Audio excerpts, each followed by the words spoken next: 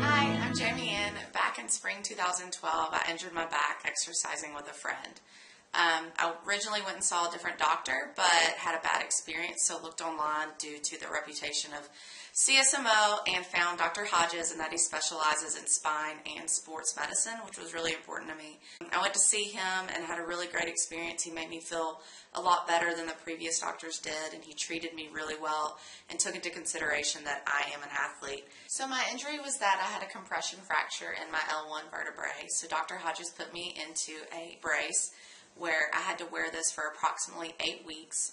Luckily, through the treatment of seeing Dr. Hodges, he actually started letting me not wear it as often, and he felt comfortable with me kind of resuming exercise gradually. I started with swimming and then slowly road biking, and then I was able to jog and resume mountain biking.